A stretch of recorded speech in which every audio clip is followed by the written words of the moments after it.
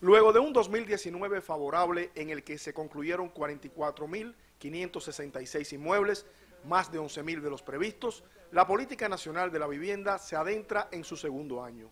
Para 2020 las provincias planifican terminar más de 41.000 por las diferentes vías.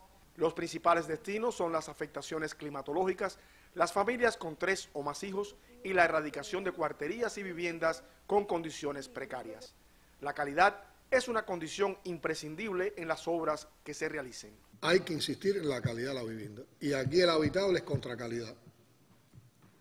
Vivienda que no tenga calidad no se hace habitable, pero lo, fundamental es cuando se empieza a construir evitar que se haga una cosa de chapucera. ¿Para qué nosotros estamos haciendo el programa de la vivienda?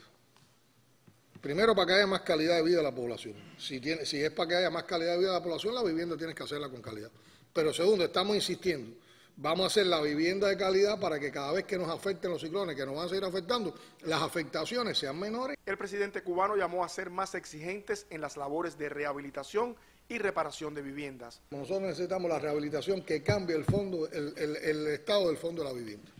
La, la rehabilitación que te convierte en una vivienda que está en mal estado en una de regular o buen estado orientó a atender de inmediato las afectaciones que ocasionó el fuerte sismo del martes 28 de enero priorizar las ligeras afectaciones que hubo ayer con el, con el sismo, que son estructurales, son raras, enseguida atenderlas, porque si no después esa vivienda, en otro de esos se nos va.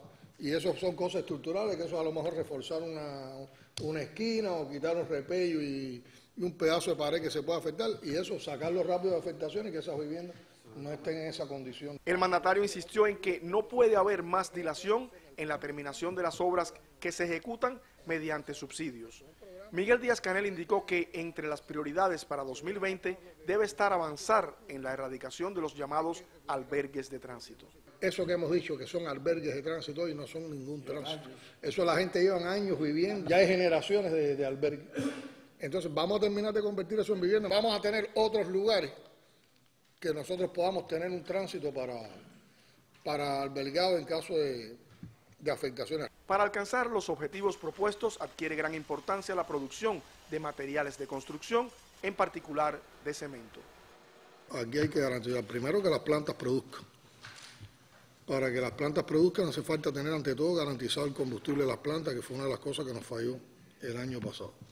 Segundo, hay que tener las bolsas que el año pasado también nos golpearon. Y tercero es la transportación y la comercialización del cemento. Y en la transportación hay que ver las insuficiencias que tenemos todavía en ferrocarriles, donde deberíamos tener un salto mayor con todos los ferrocilos que entraron el año pasado, y el cabotaje. La reunión escuchó las proyecciones de trabajo de los diferentes territorios de cara al segundo año de la Política Nacional de la Vivienda, un programa de alta sensibilidad para la población.